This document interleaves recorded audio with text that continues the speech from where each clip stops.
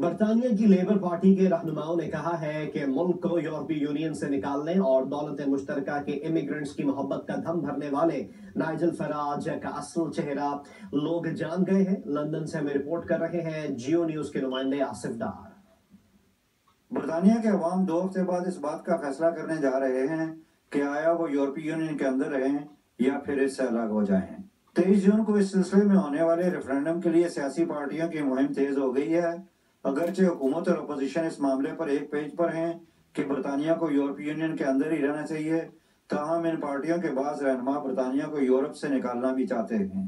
labour party کے headquarters میں نسلی اقلیتوں سے تعلق رکھنے والے میڈیا کو شیڈو وزراء ایلن جانسن چوکا Mona Seema Malhotra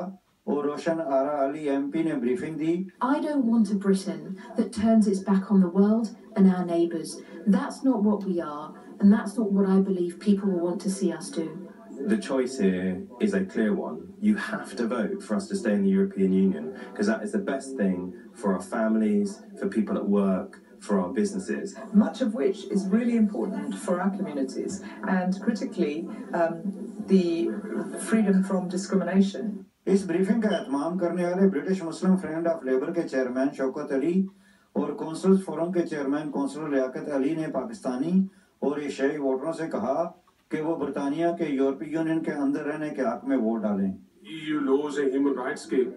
Uh, وہ بہت پروٹیکٹ کرتے ہیں specially B M E community کو It's really important to stay in Europe uh, because اگر یورپ سے باہر نکلیں گے پھر ہمارے لیے بھی نقصان ہے لیبر پارٹی کے لیڈروں کا کہنا ہے کہ مستقبل کی نسلوں کو بچانے کے لیے یورپ کے اندر رہنا ضروری ہے آصف ڈار جیو نیوز لندن